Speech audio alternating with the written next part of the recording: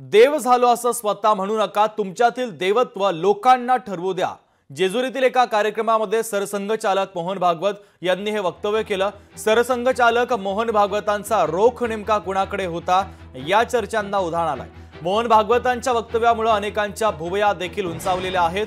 महत्वाची आणि मोठी बातमी आपण पाहतोय देव झालो असं स्वतः म्हणू नका तुमच्यातील देवत्व लोकांना ठरवू द्या. जेजुरीमधील कार्यक्रमात बोलताना सरसंघचालक मोहन भागवतांनी हे सूचक वक्तव्य केलं. सरसंघचालक मोहन भागवतांच्या बोलण्याचा त्यांच्या वक्तव्याचा रोख नेमका कुणाकडे होता? या संदर्भातले तर्कवितर्क लावले जात आहेत. चर्चा सुरू झाल्यात. मोहन भागवतांच्या वक्तव्यामुळे अनेकांच्या भुवया देखील उंचावलेल्या आहेत. तर दिसायला लागतो लोकांना. आणि देवतुल्य महापुरुष वगैरे म्हणतात तेव्हा मला एक क्षण थांबावं लागतं जरा. कारण मला पक्क माहीत आहे मी काय आहे ते. असं काही झालं की ते ते झालं ते कानाच्या इथूनच परत जावं.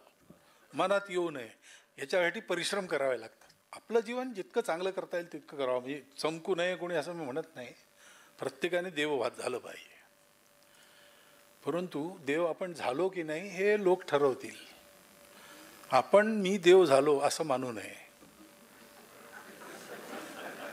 हा जो आदर्श आहे आदर्श भैयांच्या रूपाने आपल्यासमोर आहे.